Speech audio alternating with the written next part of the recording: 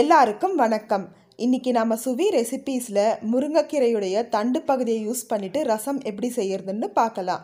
முருங்கைக்கீரையை உருவி எடுத்ததுக்கப்புறம் அதோட தண்டு பகுதியை நாம் குப்பையில் தான் போடுறோம். ஆனால் கீரையில் எந்த அளவுக்கு சத்துக்கள் இருக்குதோ அதே அளவுக்கு சத்துக்கள் அதோட தண்டு பகுதியிலையும் இருக்குது. அதனால் அந்த தண்டு பகுதியை யூஸ் பண்ணிவிட்டு இந்த மாதிரி ரசமாக செஞ்சு சாப்பிடும்போது நம்ம ஹெல்த்துக்கு ரொம்ப நல்லது.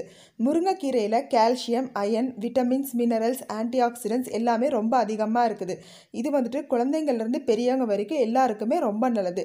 அதே மாதிரி ப்ரெக்னென்ட் லேடிஸ் இதை தொடர்ந்து எடுத்துகிட்டு வரும்போது குழந்தைக்கும் ரொம்ப நல்லது. ரத்த சோகை இருக்கிறவங்களும் இந்த கீரையை ரெகுலராக யூஸ் பண்ணிகிட்டு இருக்கும்போது இதில் வந்துட்டு அயன் ரொம்ப அதிகமாக இருக்கிறதுனால ஹீமோக்ளோபின் கண்டென்ட் வந்துட்டு அதிகப்படுத்தும். அதனால் வாரத்தில் இரண்டு முறையாவது இந்த கீரையை வந்துட்டு எடுத்துக்கிட்டாங்கன்னா அவங்க அந்த ப்ராப்ளத்திலேருந்து விடுபடலாம். வாங்க நாம் இப்போ இந்த ரசத்தை எப்படி செய்யறதுன்னு பார்க்கலாம். நீங்கள் இன்னும் நம்மளுடைய சேனலுக்கு சப்ஸ்கிரைப் பண்ணலன்னா சப்ஸ்கிரைப் பண்ணிவிட்டு கூடவே பெல் ஐக்கானை கிளிக் பண்ணிவிட்டு ஆளுங்கிற ஆப்ஷனையும் செலக்ட் பண்ணிங்கன்னா நான் போடுற வீடியோவோட நோட்டிஃபிகேஷன் உங்களுக்கு உடனுக்குடனே வந்துடும்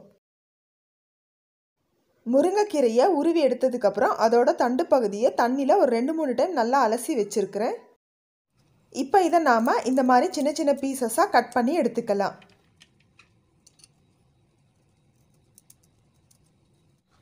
இப்போ கட் பண்ணி வச்ச இந்த முருங்கைக்கீரையுடைய தண்டு பகுதியை இந்த குக்கரில் வந்துட்டு சேர்த்துக்கலாம்.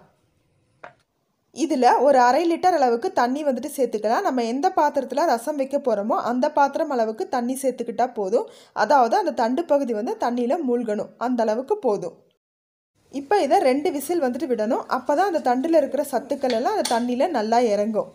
இது விசில் வரத்துக்குள்ளார இந்த ரசத்துக்கு தேவையான மற்ற பொருட்கள்லாம் ரெடி பண்ணிக்கலாம்.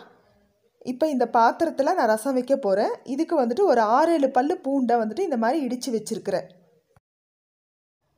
ஒரு மீடியம் சைஸ் தக்காளியை அதை இந்த மாதிரி மேல் பகுதியை வந்துட்டு நீக்கிட்டு இந்த மாதிரி நாலாக கட் பண்ணி சேர்த்துக்கலாம். ஒரு ஸ்பூன் அளவுக்கு மிளகு ஜீரக பொடி வந்துட்டு சேர்த்துக்கிறேன். மிளகையும் ஜீரகத்தையும் சம அளவு வந்துட்டு எடுத்துக்கிட்டு இந்த மாதிரி பொடி பண்ணி வச்சுக்கிட்டோன்னா நம்ம ரசம் செய்யும்போது யூஸ் பண்ணிக்கலாம். தேவையான அளவு கல்லுப்பு நான் வந்துட்டு ஒரு அரை ஸ்பூன் அளவுக்கு சேர்த்துக்கிறேன். கால் ஸ்பூன் மஞ்சள் தூள். சாம்பார் பவுடர் அரை ஸ்பூன் ரெண்டு ஸ்பூன் அளவுக்கு புளி பேஸ்ட் வந்துட்டு சேர்த்துக்கிறேன். அதாவது சின்ன நெல்லிக்காய் அளவுக்கு புளியை தண்ணியில் கரைச்சி கூட யூஸ் பண்ணிக்கலாம். இப்போது இதையெல்லாம் சேர்த்து கையாலேயே நல்லா பெசரி விட்டுக்கணும். அப்போ தான் தக்காளி பூண்டில் இருக்கிற ரசம் எல்லாம் நல்லா இறங்கி ரசம் வந்துட்டு நல்லா ஃப்ளேவராக வந்துட்டு இருக்கும். இப்போ இதை இந்த மாதிரி கரைச்சி வச்சாச்சு. குக்கரும் ரெண்டு விசில் வந்துருச்சு. இப்போ வந்துட்டு ஸ்டவ் ஆஃப் பண்ணிடலாம். இப்போ விசில் சத்தம் அடங்கி ஸ்டீமும் ரிலீஸ் ஆகிடுச்சு இப்போ இந்த தண்ணியோட கலரும் பாருங்கள் நல்லா சேஞ்சாக இருக்குது. இதோட ரசமெல்லாம் இந்த தண்ணியில் நல்லா இறங்கியிருக்குது. இப்போ இந்த தண்ணியை மட்டும் நம்ம இந்த மாதிரி ஸ்ட்ரெயினர் யூஸ் பண்ணிவிட்டு வடித்து எடுத்துக்கலாம். இப்போ இந்த ரசத்துக்கு தாளிக்கிறதுக்கு ஒரு கடாயில் ஒரு ஸ்பூன் அளவுக்கு எண்ணெய் வந்துட்டு சேர்த்துக்கிறேன். எண்ணெய் காஞ்சதும் அதில் ஒரு அரை ஸ்பூன் அளவுக்கு கடுகு சேர்த்துக்கலாம். கடுகு பொரிஞ்சதும் அதில் ஒரு காஞ்ச மிளகாயை கிள்ளி போட்டுக்கலாம். நான் வந்துட்டு சீட்ஸ் வந்து ரிமூவ் பண்ணி வச்சுருக்கிறேன்.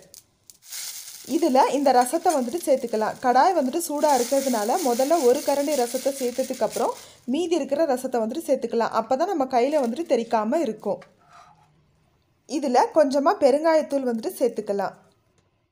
இதில் கொஞ்சமாக வெல்லம் வந்துட்டு சேர்த்துக்கிறேன். இது ஆப்ஷனல் தான். வெல்லம் சேர்க்கும்போது டேஸ்ட் வந்துட்டு ரொம்ப நல்லாயிருக்கும் இப்போ இது லைட்டாக கொதிக்க ஆரம்பிக்குது. இந்த சமயத்தில் நான் கருவேப்பிலை பவுடர் வந்துட்டு சேர்த்துக்கிறேன். நீங்கள் ஃப்ரெஷ் கருவேப்பிலை இருந்ததுன்னா அதை கூட சேர்த்துக்கலாம்.